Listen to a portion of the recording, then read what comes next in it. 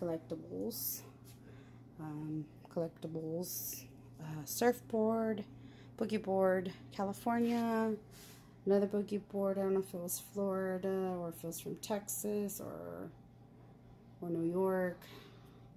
Um, a cross that was my dad's when he was 17, but he passed away uh, when he was in his 80s, so that was his cross.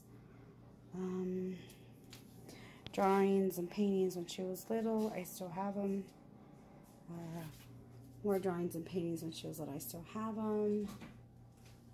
What else could I? My dad made this bookshelf. I don't know when he made it, in the 60s or 70s, but uh, it's like, um, know, to me it's always looked like a wagon wheel. It, I, I can't show you because I kind of like um, put this metal thing to keep her thing, but it looks like a wagon wheel. That was her when she was first born. Stuff from the hospital they give you. I kind of put it in one of those um, picture frames, the keepsakes and books. You can't like, she likes to play, so she has guitars and uh, accordion, and she has a violin, and she has several instruments mm. spread through the room. Oh, my brother's cooler. The one that passed away. He was not my oldest brother, but my second to my youngest brother.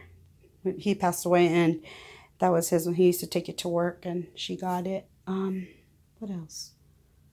Oh, a books. She loves to read. Uh, books, books, books. I mean, she, that's what she does. She reads, so she has all these books, and hopefully she'll get more. Bell. Um, that's about it.